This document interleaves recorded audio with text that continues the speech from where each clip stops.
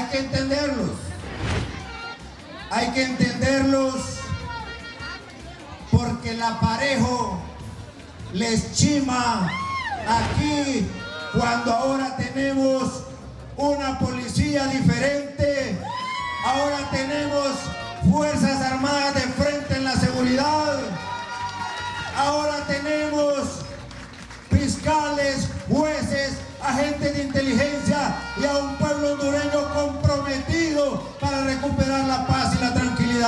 Claro que no les gusta, porque estaban acostumbrados a vivir con sus aliados, las maras, las pandillas y los narcotraficantes.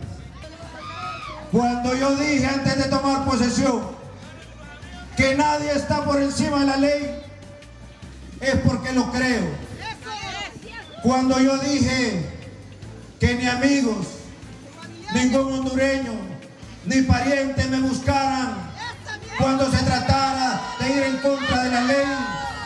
me tocó algo que tuve que decirlo claramente en mi familia y decir, si mi hermano tiene algo, tiene que ir a enfrentar la justicia. No es fácil, no es fácil. Y me acuerdo que el embajador de Estados Unidos en esa época dijo, esto es gracias a la petición del presidente Hernández. Y le dije, embajador, no pongo ninguna condición.